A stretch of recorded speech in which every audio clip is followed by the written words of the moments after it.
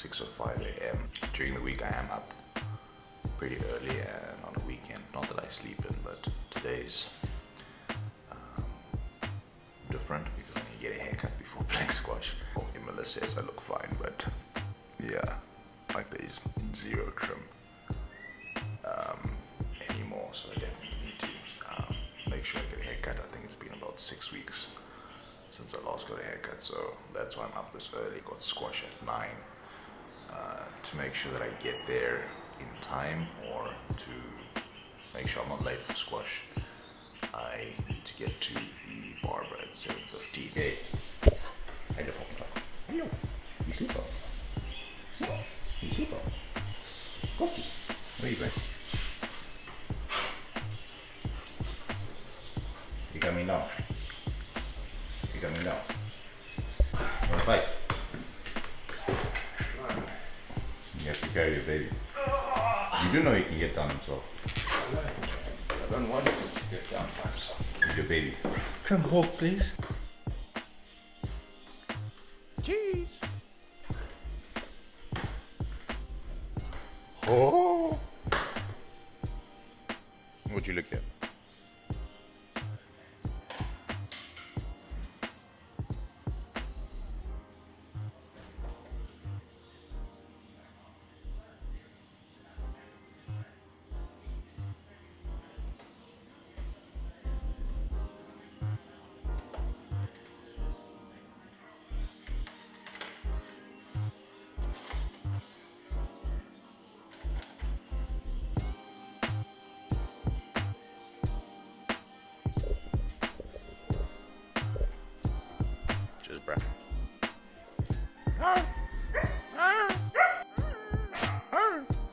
No one's playing with you now. Going now. Yeah, my car needs a wash. Space for one. So right now I'm at Spindlers, which is um, the establishment where I get my hair cut. As I told you, definitely need a fade. Um, so my boy EJ is gonna make sure I look a little bit decent, at least presentable on camera. Thanks to my boy EJ at Spindlers. Um, so yeah, I'm just at the squash courts now. I think I see Simon's car here. So Simon's one of the players that's in my team. Uh, or we've played together. I'm not too sure what's happening this year in terms of teams and stuff like that. But yeah, he's a regular practice partner of mine. I need food, yo. I'm hungry.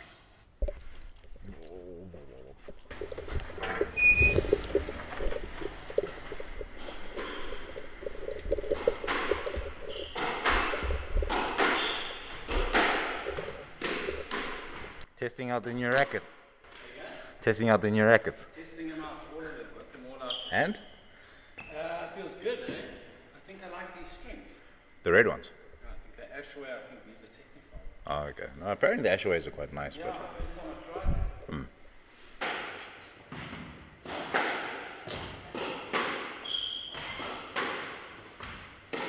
Sorry?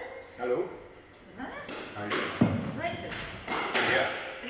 Got a haircut first.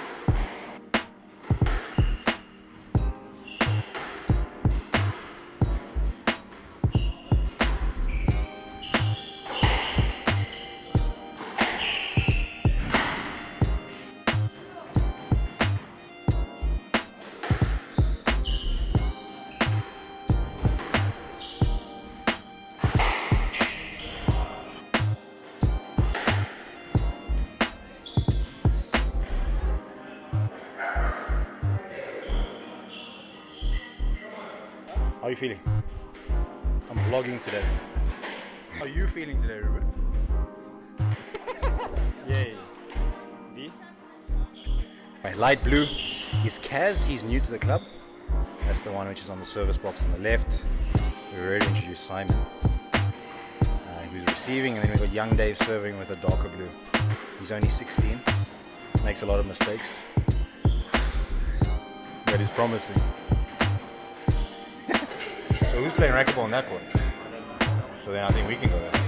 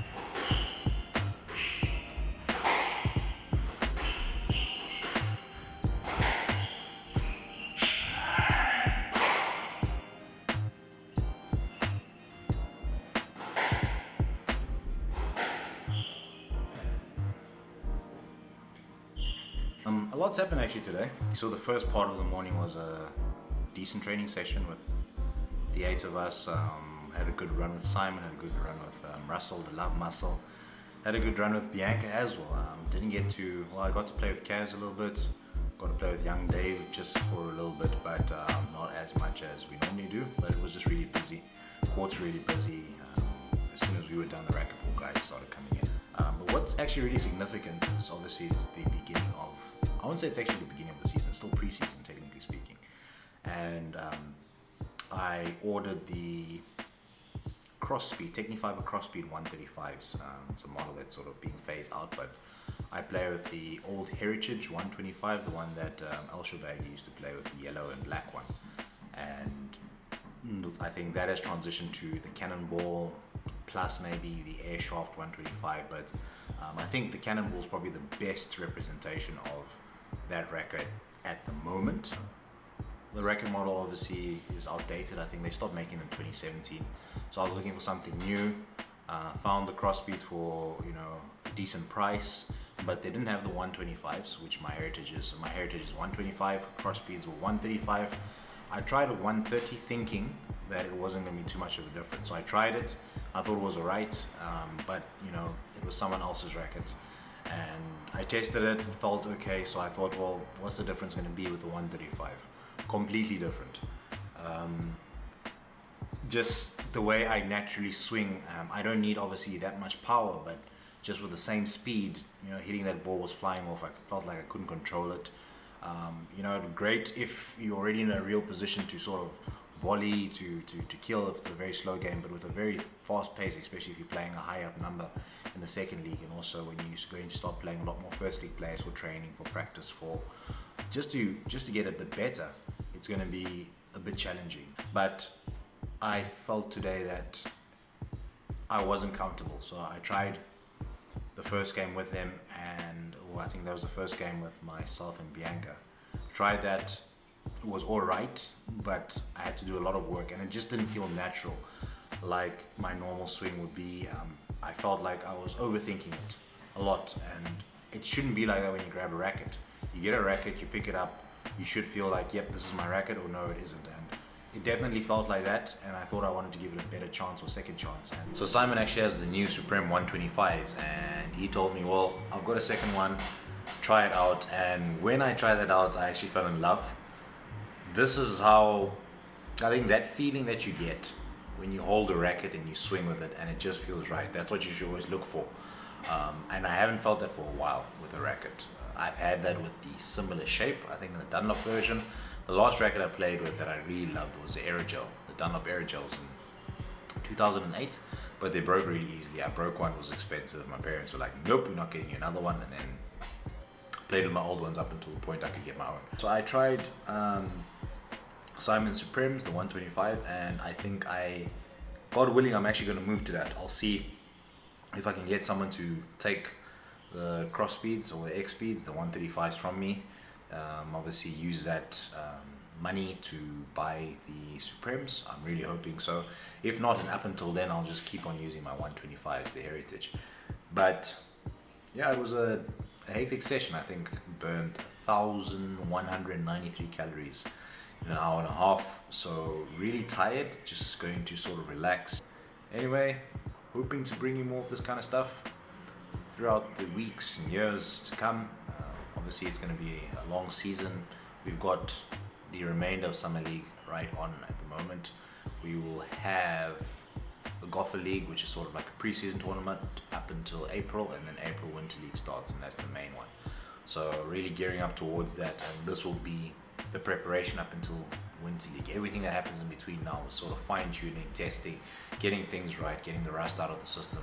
And then when Winter League starts, that's the big competition, or not really competition, but that's the real test for uh, the squash players in and around PE. But anyway, take care.